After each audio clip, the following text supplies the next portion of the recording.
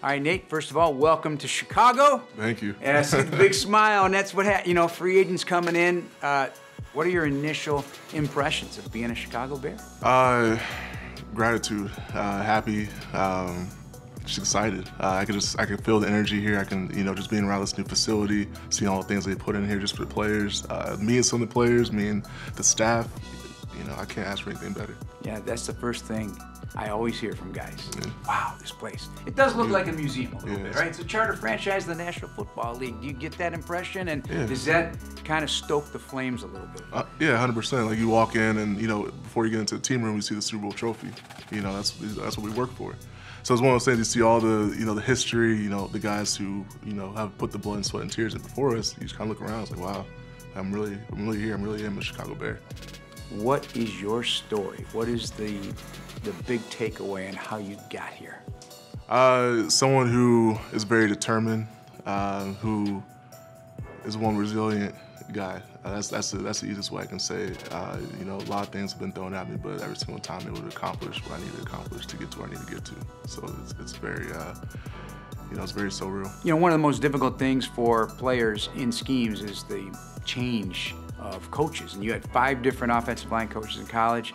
You're now going to have your second different offensive line coach here in the NFL. How'd you get through that just to get to the league? Because that's a lot of different teaching. Everybody's got a little something different they want to teach you. Yeah, uh, I would definitely say a support system. Um, having uh, you know the right people around your circle, it kind of keeps you on that straight narrow path. Uh, I really do have to give them a lot of credit for that because it is tough um, having a new coach every single year, not knowing what to expect. Uh, but it makes you a better person when you come out of it. What's your uh, best attribute if you were to tell Bears fans, hey, this, this is who I am uh, as an offensive line? Uh, first word comes to mind is physical. Um, you know, I just bring a different type of physicality to the game, uh, that consistency too. Um, I'm, I'm just leave it like that. You It's actually one word. Yeah, so yeah, just that- physicality. That's good. Don't get fooled by the big smile right here and the nice demeanor right when it's Sunday and you're ready to go. Put the hand in the dirt. It's it's trouble, isn't it? We got we got some guys on this team that way already. So I know there's going to be more additions probably, but. Um, this team led the NFL in rushing last year, and Right. you're familiar with that too down in Tennessee. 100%. Uh, uh, what did you, and I, maybe you've already seen some things on tape that, you know, showed what kind of physicality this team wants to bring to the table. Right. Uh, I mean, obviously, just watch the O line that was here before. Uh, it's, it's, it pops out of the field every single time you watch it. They're already physical guys already. And then obviously, you got Justin Fields back there who will do anything, you know, put his body in line to win the game. And that means a lot just as someone who's blocking for him, but also the teammates. So, uh, like I said, it shows all over the film already the type of team this is. You blocked for Derrick Henry and put up over 6,000 yards rushing just by himself with, with you guys up front, and you were part of that.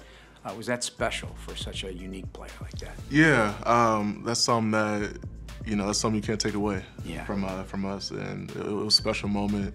Uh, definitely a lot of gratitude, uh, a lot of great moments, and just something to be proud of. Simple as that. When you get a guy like that it can get a lather going throughout the course of the game, it's harder to bring down as the game wears on. Does that make you guys just more dominant? I mean, you don't feel the fatigue, so to speak, because you got a guy back there just tearing it up. Right, right. You're in the huddle, you see him. You know, don't he doesn't ever get tired. You know what I mean? So you can't get tired. It's one of those things. If you're gonna keep on churning those wheels, you got to keep on doing it with them. So. Uh, just being able to kind of uplift each other no matter what, and continue to stay on that path of, uh, you know, we're gonna dominate. You, know, you can't be the one. You can't be that one guy out of that. How exciting will it be to block for Justin? That probably changes uh, a lot for an offensive lineman who's not used to that for a guy just sitting in the pocket. Right, 100%. Uh, that's just somebody who you want to block for, you want to play for, and like I said, he is a leader, um, and he's just easy to be around. Uh, just by talking to him just for a little bit today. So yeah, I'm excited. I'm definitely looking forward to it, and you know, I'm just I'm just happy to say he's my quarterback. So you started on a ground floor opportunity at the University of Charlotte. Started football, I think, in, or restarted football in 2014, and you, I think, were redshirted that year. Is that right? yes, sir. So this is a, another ground floor opportunity with a team that you know obviously finished three and 14. They're trying to build something here. What'd you learn from that over the, all that time in college that you can apply now in the NFL? Uh, just you know the dedication and the consistency that it takes day in and day out um, to to become successful, especially in this league in the NFL. Uh, every, nothing's given to you; everything's earned. That's the you know easiest way I can really say it. Uh, it's not going to be easy, but it's going to be fun.